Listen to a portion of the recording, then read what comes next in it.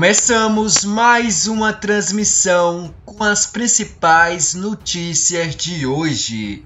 Infelizmente, uma querida acabou de morrer em um trágico acidente de carro. Você vai conferir tudo agora e com todos os detalhes no nosso resumo de notícias. Mas antes, se possível, peço seu gostei para ajudar no crescimento do canal Feito isso, se você é novo, inscreva-se e ative a notificação para não perder os próximos vídeos. O nosso primeiro comunicado envolve o surfista Pedro Scooby. Primeiramente quero saber de vocês. Gostam dele? Sim ou não? Opina nos comentários. Desde que Pedro Scooby surgiu no Rio Grande do Sul, disposto a ajudar e resgatar as vítimas das enchentes que estavam presas em suas casas. Muito se especulou sobre a atitude do surfista e ele foi muito julgado, mesmo estando ajudando as pessoas. Acompanhado dos amigos, entre eles o surfista e ex-BBB Lucas Chumbo ele conseguiu salvar mais de mil pessoas que ficaram ilhadas, sem acesso devido ao excesso de água.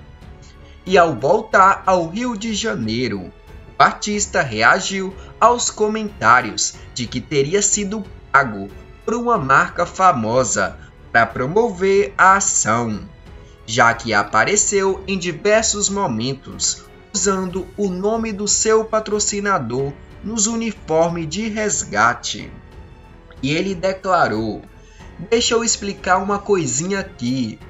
Eu e o Chumbo fomos lá, recrutamos nossos amigos e equipe, botamos nosso jet ski e equipamentos, que é caro pra caramba, para jogo.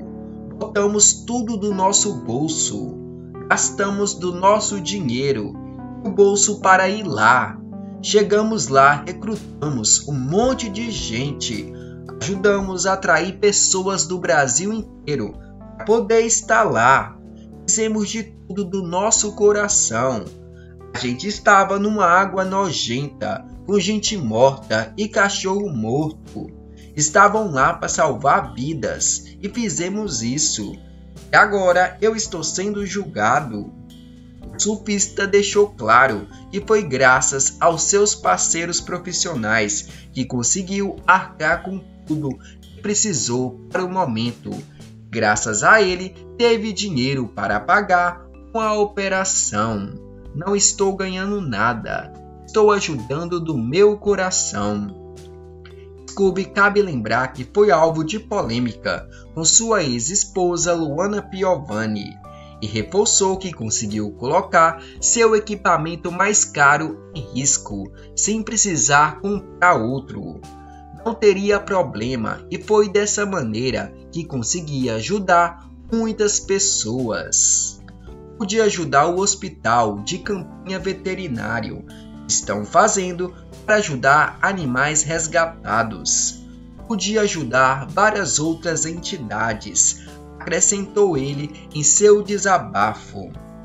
E também falou que quando voltou para o Rio de Janeiro, ele doou uma carreta de água com 35 mil toneladas que foram encaminhados ao sul, né? É uma água potável para lugares que não têm acesso. Por fim, Pedro adotou um cachorro que salvou no desastre. Declarou que não quer nada para ele, e só quer conquistar algo através do seu trabalho. Que surfar em ondas grandes é de resto dividir com os outros o que é a sua maior essência. Parabéns para ele. Mesmo quando a gente ajuda as pessoas, somos julgados do mesmo jeito. É difícil, né, pessoal? Nossa próxima notícia envolve a atriz da Globo Mariana Ximenes. E primeiramente quero saber de vocês. De 0 a 10, qual nota você dá para ela? Opina nos comentários.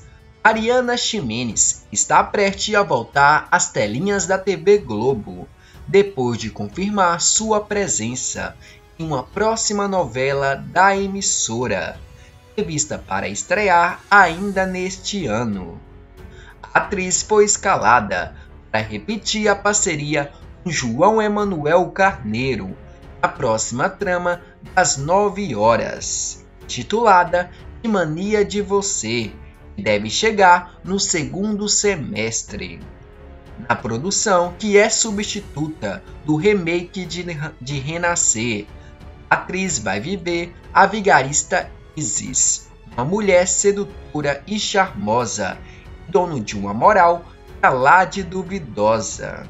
Mariana admitiu ao jornal da Globo que está completamente estimulada para encarar o novo desafio, o folhetim do horário nobre. Recebo esse convite. Foi uma alegria enorme, porque o João Emanuel Carneiro o meu amigo querido de anos um dos autores brasileiros que mais admiro. Com ele tive ótimas e criativas experiências com as novelas Pobres e Largados e A Favorita, Recordou a Famosa. E aqui todo o meu desejo de sucesso para ela. Nossa última notícia é lamentável. Uma verdadeira tragédia aconteceu nesse último domingo em Rondônia.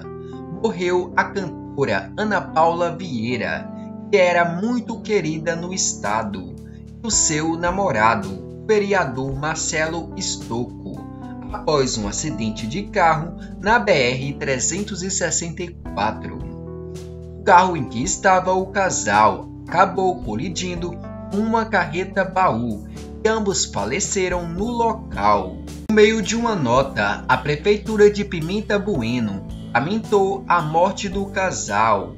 A prefeitura de Bueno manifestou o seu mais profundo pesar no falecimento de Marcelo Augusto Estocco e Ana Paula Vieira Correia. Cabe lembrar que ele era vereador da cidade, enquanto Ana Paula era conhecida por sua voz encantadora e sua presença nas redes sociais. Como cantora, ela tocava os corações de todos com sua música. A Prefeitura de Pimenta agradece a todos os momentos vividos juntos a esses grandes pessoas e excelentes profissionais. E aqui os meus sentimentos. Através das redes sociais, diversas pessoas prestaram homenagens e declarou condolências aos familiares.